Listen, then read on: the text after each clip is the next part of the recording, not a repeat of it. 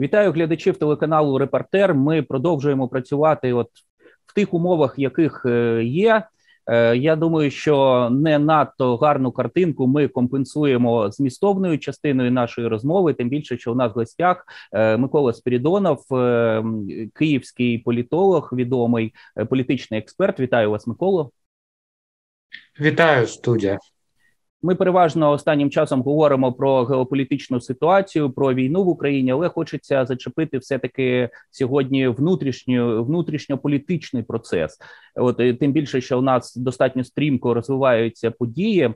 Е, вся нація об'єдналася навколо Володимира Зеленського, навколо президента під час воєнного стану. Напевно, це правильно. Я теж його абсолютно підтримую. Але ми все таки маємо журналісти, політологи аналізувати певні ризики. От на вашу думку. Е, ті речі, які е, у внутрішній політиці робить Володимир Зеленський, чи вони не стануть потім основою для певного авторитаризму після нашої перемоги? Тобто, я маю на увазі призупинення партії, закриття телеканалів. Е, ну, дійсно, зараз рейтинг Зеленського космічний. Я бачив опитування, що він Е, набагато більше 80%, там 86 наближається до 90%, е, тому що під час е, військових дій головнокомандувача ну досить важко і критикувати, і там опозиційну якусь діяльність вести. Тут вже буде дуже дуже тонка грань між опозиційністю і допомогою ворогу. Е, що стосується того, що буде після, ну напевно, це вже буде інша історія. Ну, уявімо собою ситуацію. От у вас, е, наприклад, є діти. І стається там на квартиру якийсь напад. Ну, напевно, під час е, нападу дітям даються чіткі вказівки, що їм робити. Тобто, демократії тут не буде. Демократія буде в нормальний час.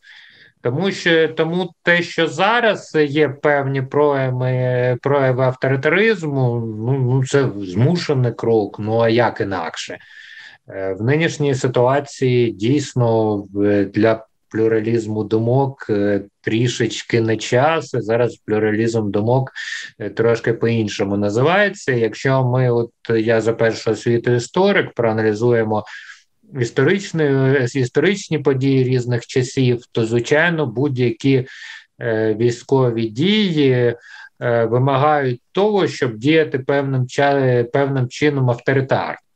А після військових дій, ну я думаю, що вся історія України, там і Майданів, і певних інших акцій протесту показує, що авторитаризм на нашому ґрунті не приживається. Тому, можливо, якісь там ризики будуть, але в першу чергу нам треба зараз е, перемогти у цій війні. А ризики, які виникнуть потім, то як кажуть філософи, будемо. Вирішувати питання по мірі їх е, виникнення. Зараз от це далеко не найгостріше питання. Думаю, що після того, як е, бойові дії завершаться, телеканали Е, потроху свою роботу е, відновлять ті, що влилися в національний марафон. Що стосується регіональних каналів, то я так розумію, вони в основному працюють і в Одесі закрились ті канали, які з фінансової точки зору мали певні проблеми. а не Це їх по всій Україні. Закривали. Ця проблема так. Регіональні телеканали закриваються переважно через фінансові проблеми. Це зрозуміло. Тому я думаю, що демократії зараз е, можливо навіть трошки і більше, ніж необхідно в військовий час. Тобто, навіть зараз люди в тих же соціальних мережах скаржаться на певні проблеми, їх обговорюють. Тобто, не можна сказати, що в нас навіть у військовий час е, наступив е, якийсь е, повний авторитаризм. Він там частково, якісь в якихось вимушених рамках. А після завершення ну будемо сподіватися, що все буде добре, головне перемогти. Е, тут я з вами абсолютно згоден, але чому от в мене з'явилося таке питання? Зрозуміло, що закриття е, певних проросійських телеканалів йде абсолютно в контексті політики держави, але от закриття е, каналів, наприклад, Петра Порошенка Так е, після того як вже Порошенко сказав, що вони з Зеленським е, поговорили, що все ніби е, дійшли до певного консенсусу. Так закриття його каналів, чи от не є це певне зачищення опозиції на майбутнє, от на тлі якраз е, пікового свого рейтингу, про те, що ви казали до цього. Ні, я думаю, що в даній ситуації це рішення логічне, тому що е, Порошенко і його команда ну теж е, занадто хто опікуються якимись політичними піарними моментами, і зараз е, ну не на часі це. Тому от критикувати це рішення з закриттям телеканалів. Е, я думаю, що на сьогоднішній день не треба. Цей крок вимушений. Після завершення воєнного стану. Я думаю, що нічого не завадить цим телеканалам. Е, поновити свою роботу. А той же Порошенко має в соціальних мережах своїх підписників. Е, він має своїх партійців, інші інструменти. Тобто, якщо йому є щось що сказати, він може, наприклад, на вашому телеканалі виступити.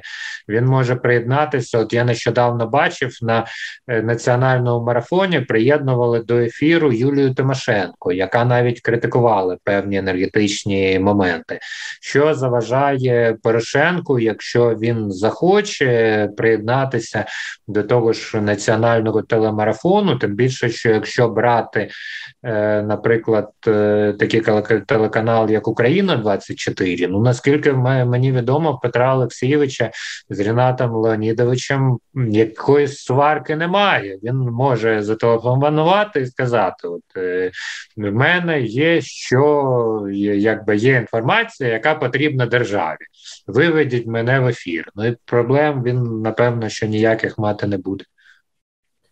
Е, такий ще один момент: от призупинення дії проросійських партій, головним чином е, ОПЗЖ, там ну зрозуміло, трохи менші там е, партії наші, партія Шарія. От я теж маю політологічну освіту. Мені трохи дивно з точки зору політичного процесу саме формулювання призупинення. Якщо наша держава визнає ці партії проросійськими, вони працюють на країну агресора, то напевно їх потрібно закривати. Якщо цього немає, то ну тоді чому призупинення? Ну от я вважаю ці партії проросійськими, але сама саме формулювання призупинення воно виглядає трохи дивним для мене. Яка ваша думка з цього приводу?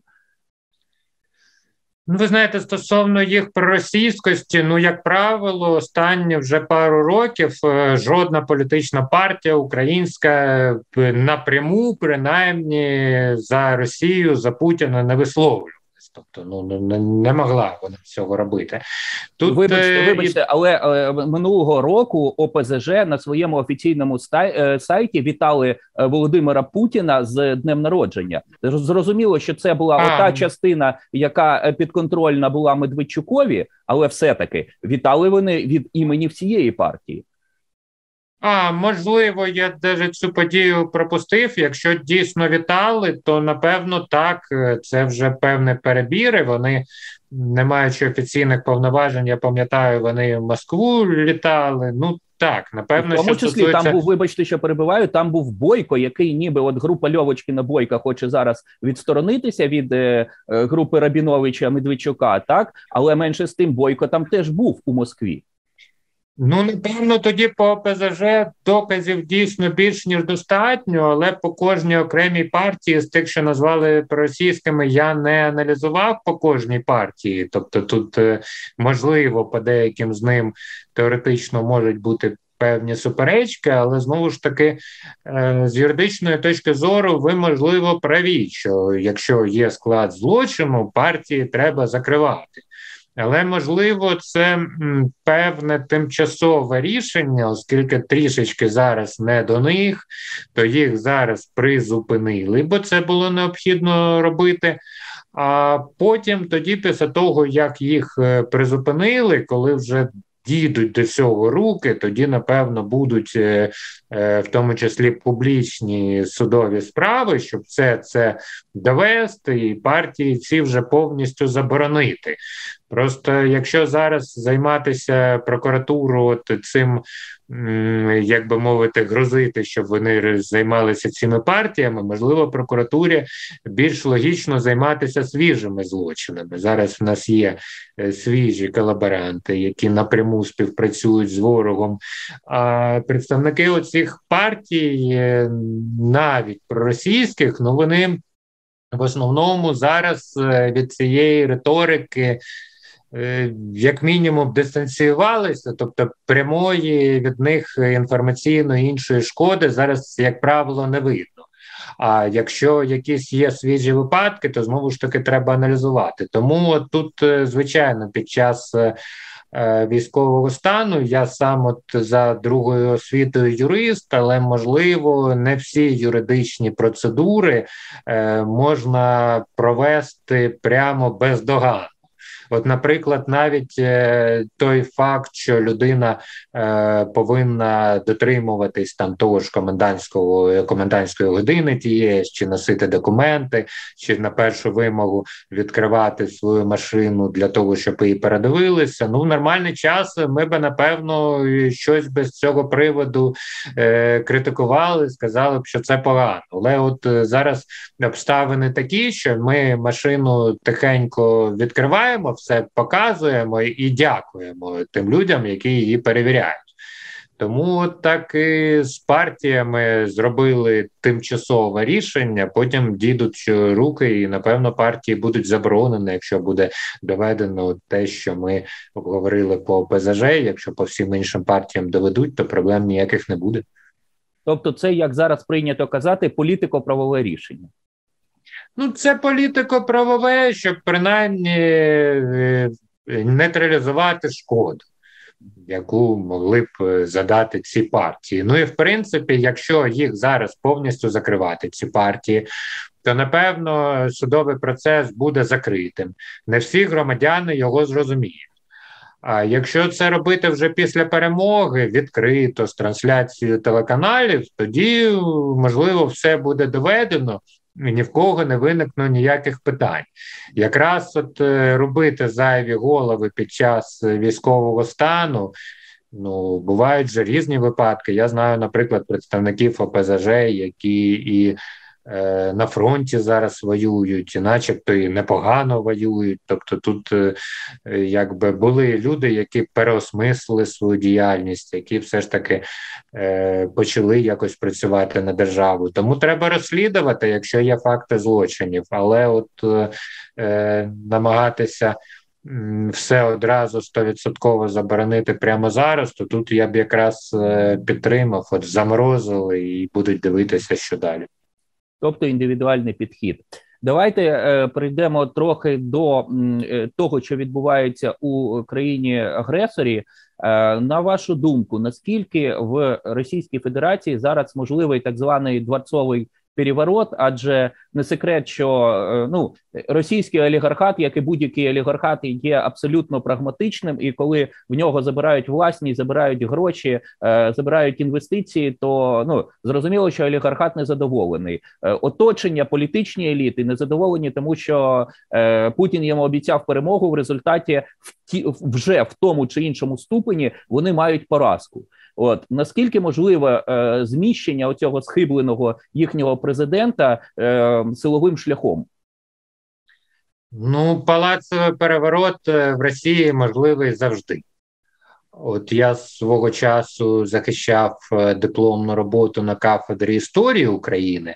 Е, вона стосувалась створення діяльності української повстанської армії, але в нас також була е, кафедра слов'янських народів, і ми там свого часу обговорювали з колегами, е, що є таке обґрунтоване припущення, що жоден російський цар не вмер своєю смертю.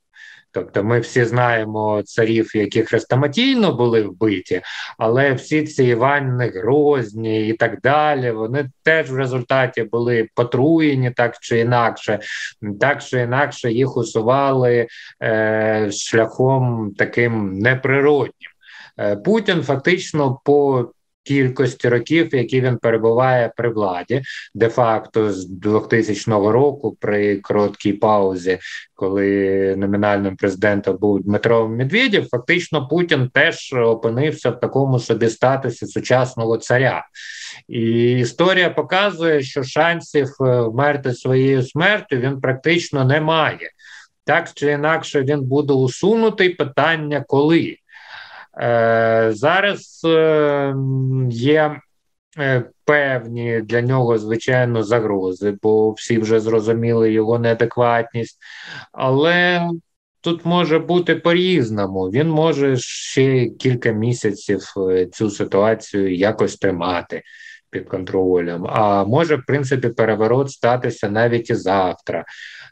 Бо якщо, наприклад, в Росії оголошувати мобілізацію, про це говорять, що, начебто, 9 травня буде оголошена мобілізація, е, то ми ж пам'ятаємо. Е, з чого почалася революція в Росії у 1917 році, коли якраз теж активно залучали чоловіків до війська під час Першої світової, і в якийсь момент ці всі штики е, пішли в тодішню столицю Російської імперії. Це сучасне місто Петер, Петербург. Тоді не не Москві була столиця. І якби і от і після цього відбулася революція, і Російська імперія на якийсь час втратила свій вплив на деякі території, зокрема і на територію України на деякий час втратила свій вплив. Потім, на жаль, його відновила. Е, це вже інша довга історія. Тому ми бачимо, що звичайно для Путіна ризики є. Але це не означає автоматично, що нам від цього стане легше. Тобто, нам може стати від цього легше, якщо вони е, будуть зайняті внутрішніми чварами, але теоретично в оточенні Путіна є навіть і наскільки я розумію, більш е, або того ж рівня е, невміняємі люди, як і він. Тому тут ще треба дивитися, що з того буде. Вже з'являється інформація, що е, не він особисто приймав рішення про ті ж військові дії. Там досить багато ястребів є в його оточенні, які от теж е, готові.